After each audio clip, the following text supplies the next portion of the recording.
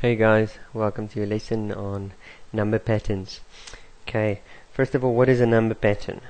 Ach, a number pattern is uh, it's a sequence of numbers where we can predict the the next number in the sequence. So, for example, if I have the number 7, 11, 15, 19, etc.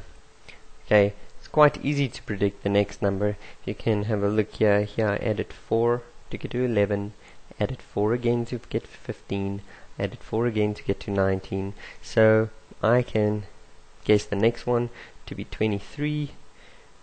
Well, not really guess, I actually worked it out. Then 27, then 31. Okay, so that is an example of a special type of number pattern. And we can also call number patterns sequences, and that um, is what we're going to call them.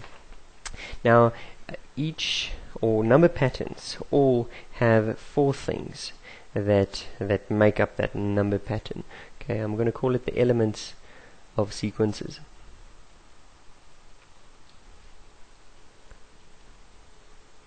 Okay. The first thing that they have is terms a term 1, a term 2, a term 3. Okay, so each element, well, each value in here is called a term. And this would be our first term. Here's a different color now.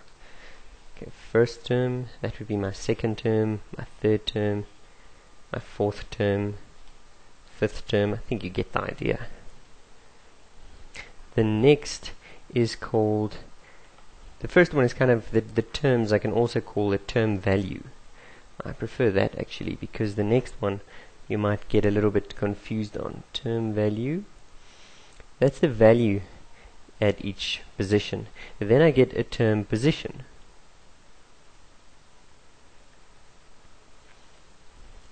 And that is exactly this little small number at the bottom. That just indicates the position that a certain value has in the sequence. So for example, the value 27 would be the seventh one in the sequence. So his term position would be 7 and we use an n to indicate it. The number, the seventh number in the term. Okay, so that one would be his term position would be 7. Now, uh, we also get what we call the general term the general term. Now, this is something that most students actually uh, get a little bit confused about. The general term is a formula containing n the term position. And it can be used to calculate any term value given a certain position. So, ah, let's use an example. Okay, let's say that the Tn is equal to 7n minus 1 divided by 3n squared. That's an example. Okay, so if I were to write down this sequence, I would first have to evaluate what is the first value of the sequence and therefore I substitute a 1 into n. Okay, and that's why this one is called a general term because it can be used to calculate any value. So 7 n is replaced with 1, 1 minus 1 is going to be 0 so it doesn't really matter what happens at the bottom but anyway 1 is squared so I get 0 divided by 3 which gives me 0. My second term I will replace it with a 2. So 7, 2 minus 1 divided by 3 times 2 squared. Okay, 2 squared is 4. 3 times 2 is therefore 12. And in the numerator, 2 minus 1 is 1 times 7 is just 7.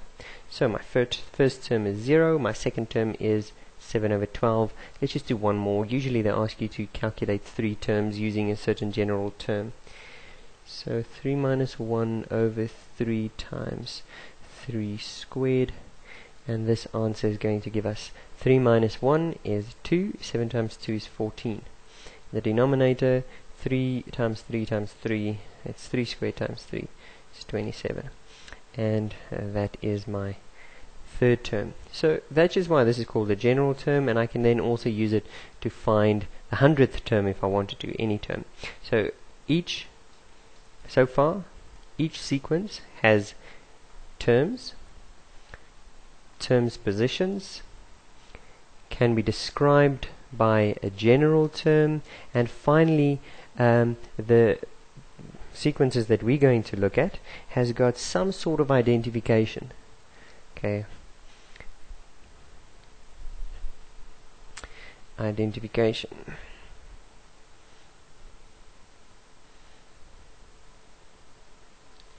What do I mean by that? Well, for example, the arithmetic sequence. The top one is an example of an arithmetic sequence.